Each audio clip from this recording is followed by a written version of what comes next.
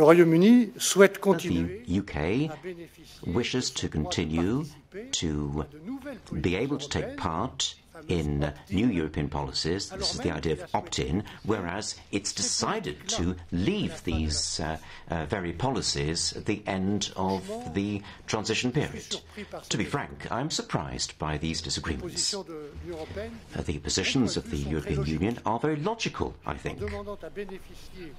The UK wants to enjoy the advantages of the single market, uh, uh, the customs union, and common policies. Uh, it has, therefore, to accept all the rules and the obligations uh, until the end of transition. That's only logical.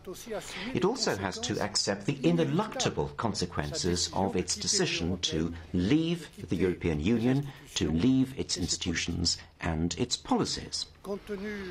Compte tenu de ces désaccords et pour To be quite frank, if these disagreements persist, the transition is not a given.